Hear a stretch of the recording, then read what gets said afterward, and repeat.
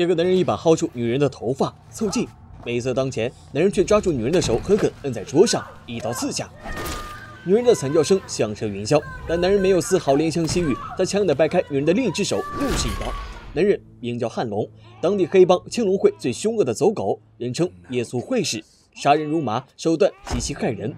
而今天他出狱的日子，满城轰动，全网恶评，广播里放的是“我希望他烂在监狱里”，狱警说的是“你肯定还会回来的”。但无论如何，他还是自由了。那位牛掰的律师来接他，给他准备了钱、护照以及最新研发的武器，劝他出国避避风头。因为这个城市的人不会忘记耶稣会士，警察不会忘，黑帮也不会。汉龙明白，但离开前，他想先见见自己儿子。晚上，他在酒店住下，但门外他的汽车突然响起警报声。汉龙出门关掉警报，走过去查看，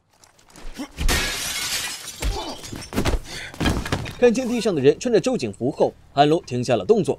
下一秒，有人重重一棍砸下，被金连犄角踢翻在地。一群州警耀武扬威地走到他面前。警长说：“我不知道你的律师是用了什么诡计让证人收口，但我会一直盯着你，直到把你再送回监狱。”第二天，汉龙西装革履敲响了前妻家门。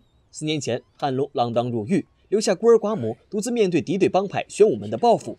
前妻为了护住儿子，不得已成了玄武门门主卡当夫的情人。前妻很怕汉龙会给他们带来麻烦，只给汉龙五分钟。小波比看到汉龙一愣，身体已经先大脑一步做出反应。前妻见状转身出门，下一秒波比就已经扑进汉龙怀里。汉龙打开儿子的画册，里面一页一页画的都是自己。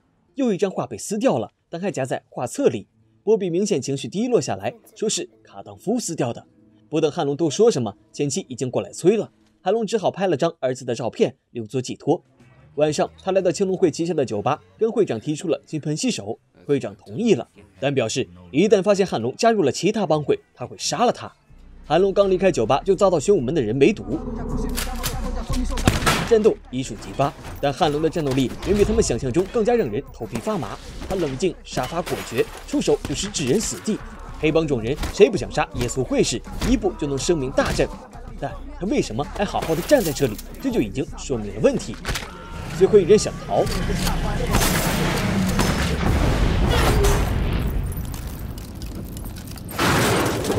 解决了麻烦，韩龙有些索然无味的回到酒店。但这时他接到了儿子的电话，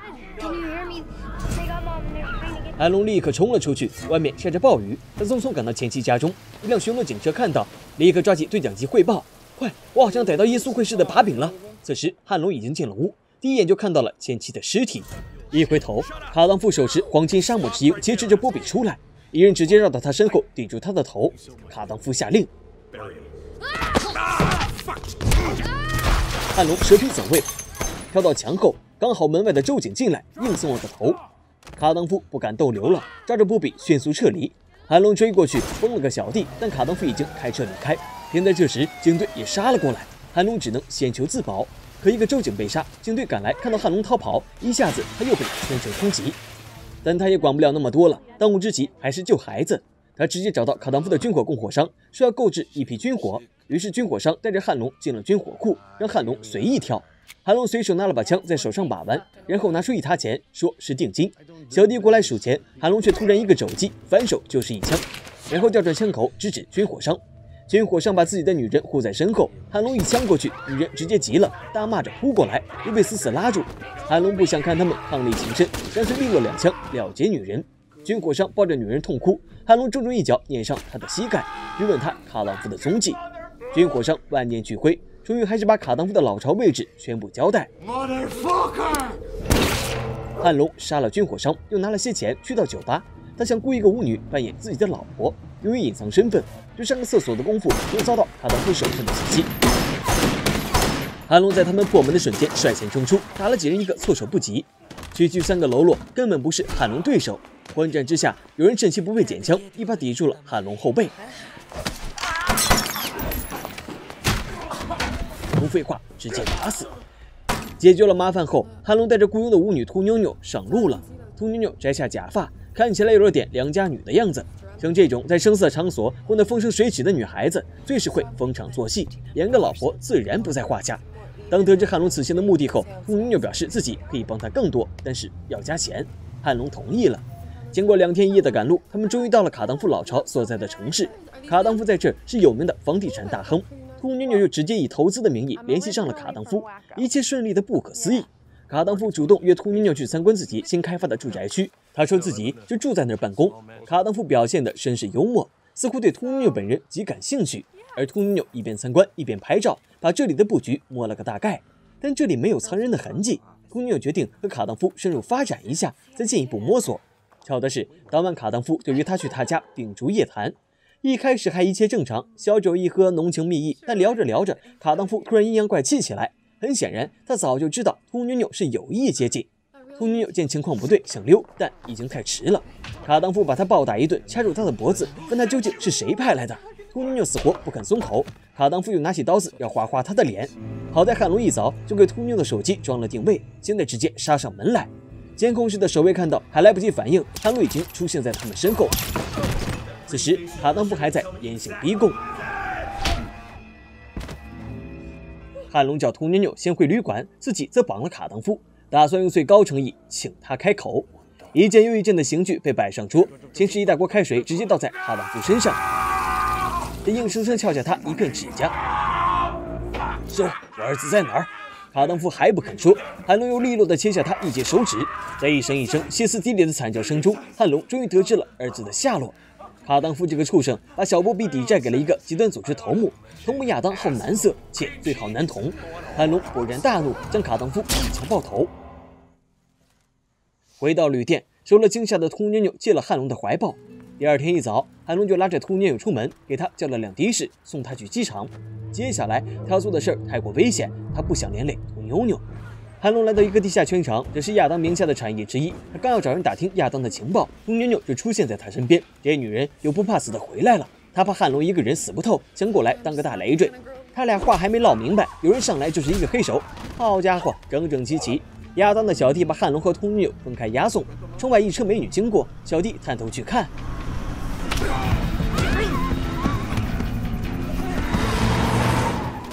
一个小弟被踢下车，开车的也被汉龙死死勒住，车子失控，后车追上来一通乱扫，但丝毫不影响汉龙行凶。接连几刀下去，车上已经没了活口。汉龙把住方向盘，用力一撞，逼得后车直接侧翻。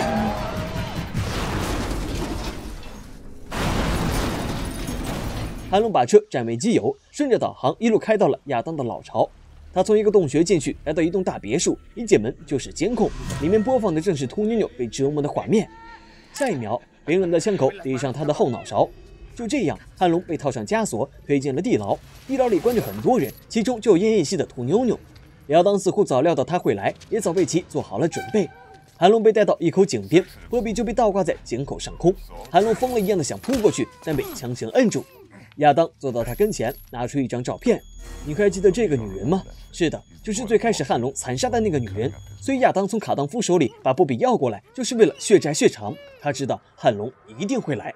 亚当开始把绳子往下放，波比一声声急促的呼救声，逼得汉龙快要疯魔。几个小弟又拖着秃妞妞丢到一旁，当着他的面往死里虐打。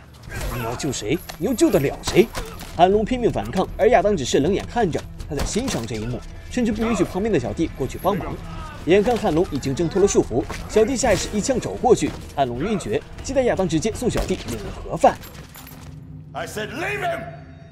汉龙缓缓恢复意识，亚当把他提起来，逼他看井口已经没有丝毫挣扎痕迹的绳子，说道：“This is what justice looks like：“ 亚当走过去井边，汉龙挣扎着拔下胸前的刀子，一刀指出，亚当当场毙命。韩龙撑着遍体鳞伤的身体，从地上缓慢爬起，来到井边，望着绳子良久。嗯，其实我觉得也许还能抢救一下，人工呼吸，心肺复苏。你别光看啊，捞人啊！镜头一转，已经是波比的墓碑。好在秃妞妞还活着，未来的生活他至少不是一个人。这就是电影《耶稣会士》的故事。严格来讲，我觉得里面没有全人正义的一方，就是一些黑恶势力的冤冤相报，互相残杀。只可怜两个可怜的孩子，成了他们斗争的牺牲品。旁的都不说了，珍爱生命，珍惜眼前人，别涉足黑色势力。为了家人，为了孩子。好了，本期视频到此结束。关注电影金三角，观看更多最新动作电影。